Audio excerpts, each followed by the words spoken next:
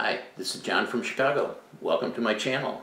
Uh, today I have an interesting uh, video for you. This is uh, four ultralight um, racing quads that I'm going to talk about today. The um, ultralights are becoming quite popular and they're fast. Uh, Andy RC, uh, he built a Floss and he did his flight test today and he had a uh, speed of 117 miles an hour with a radar gun on his. He has slightly bigger motors than what I'm going to use here. Um, and Stu also did um, his builds. He did two uh, ultralights and he had a speed of 115 miles an hour on his. And before getting up to 100 miles an hour with some of the bigger quads, uh, beefier quads, uh, was a, a challenge. So these um, ultralights are fast and maneuverable. Uh, the big question is how are they going to hold up in races? I know they make them uh, so their arms are all replaceable. You could buy arms for probably about $5 a piece. And it'd probably take uh, 15, 20 minutes to change out a arm uh, after a race if you have a crash. Um, but um, most of the people that buy racing quads. they buy them for how they could really bash them into trees and gates and things and survive. Um, so um, it's interesting, but I'm building four of them here.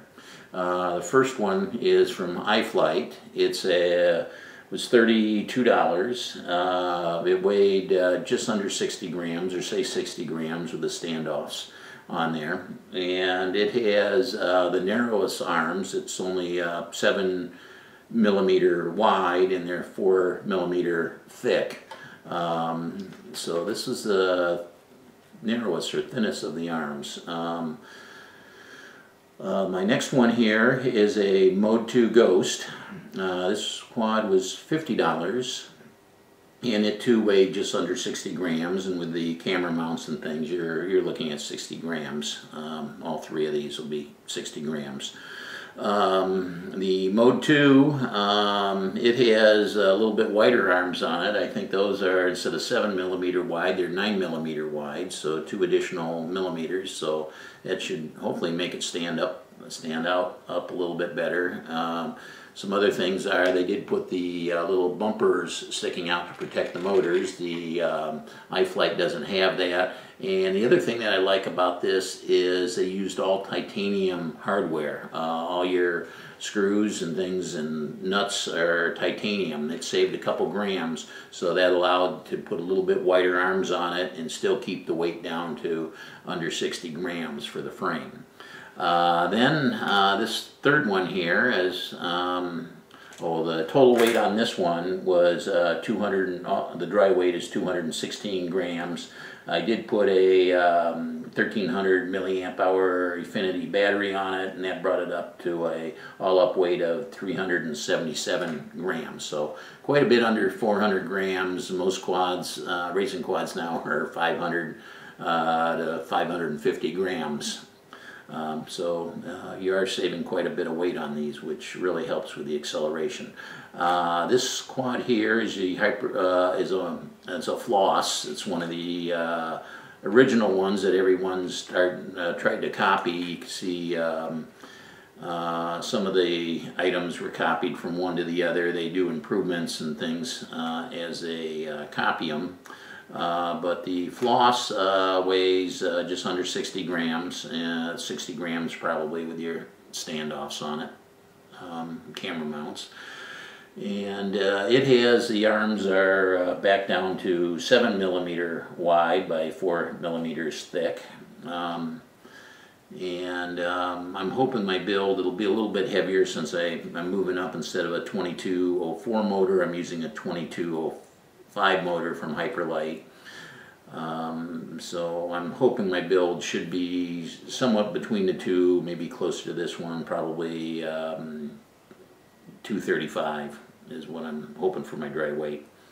Uh, some, some of the other things, I got a uh, shark fin to put on there for turtle mode. Uh, I got a Foxeer uh, Predator uh, micro camera. I heard that these are the best, so I'd like to try one of those.